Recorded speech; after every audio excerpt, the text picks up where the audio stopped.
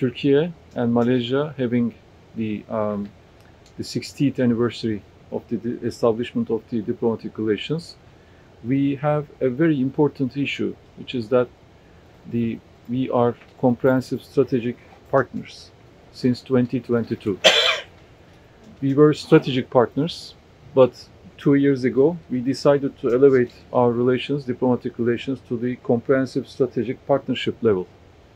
This means that we are trying to deepen and further our relations as much as possible in all different subjects education, industry, defense, technology, science, and uh, so on and so forth.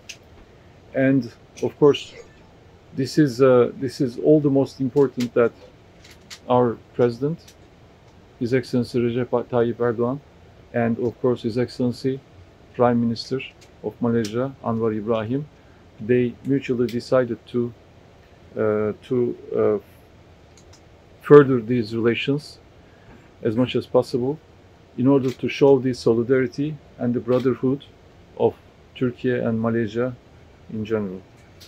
Last year, um, His Excellency Prime Minister visited Turkey twice because of the earthquake. And again, taking the opportunity, I would like to thank our brothers and sisters in Malaysia for the uh, great assistance and solidarity we received after the earthquake in, in Turkey.